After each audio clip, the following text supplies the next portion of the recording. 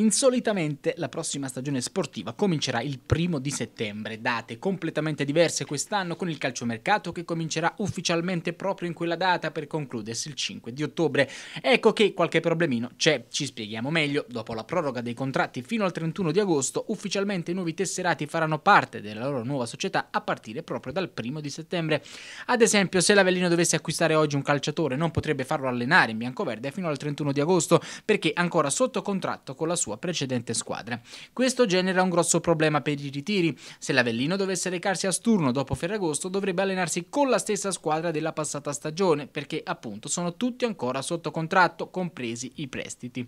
Sarebbe una situazione paradossale, quindi per fare chiarezza sulla vicenda abbiamo intervistato l'avvocato Umberto Calcagno, presidente dell'Associazione Italiana Calciatori, che ha dichiarato: "È vero che sarebbe una situazione davvero strana e poco sostenibile, ma stiamo già lavorando con la FIGC per emettere un provvedimento che possa tutelare i calciatori e risolvere così il problema.